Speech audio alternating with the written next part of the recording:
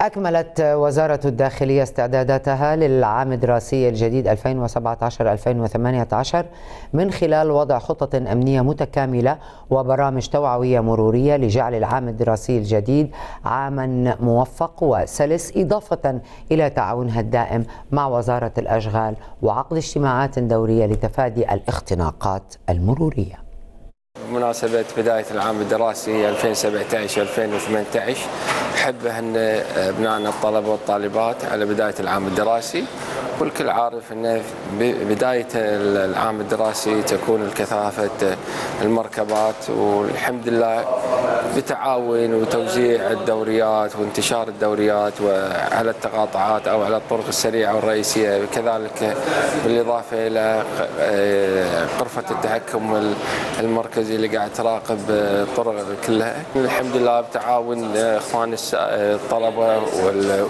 وأولياء أمورهم. يمكن تحد شوية من الازدحام المروري وهذا اللي نتمناه إن التعاون ما بين رجال الداخلية والمواطن والمقيم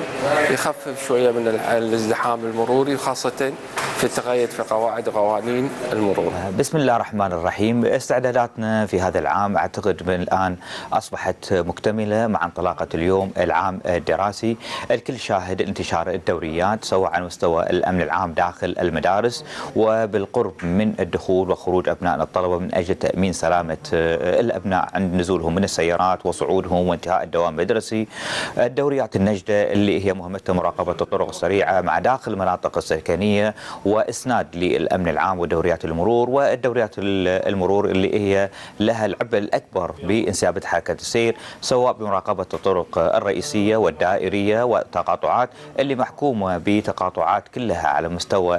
المحافظات من أجل انسيابية حركة السير ومنع الاختناقات المرور، أنتم عارفين بأن هناك بعض الطرق هي قيد الإنشاء وبالتالي هناك طرق بديلة، طرق بديلة باي حال من الأحوال ليست بكفاءة الطرق الاعتيادية وخاصة بالنسبة للمنحنيات وأي منعطفات والطريق قد يكون غير آمن في أجزاء منه فبالتالي تتطلب عملية الحذر والانتباه. مثل ما لاحظنا هناك بعض الحوادث التي حصلت نتيجة عدم الانتباه في التغير للخطوط الأرضية وخاصة في الطرق البديلة.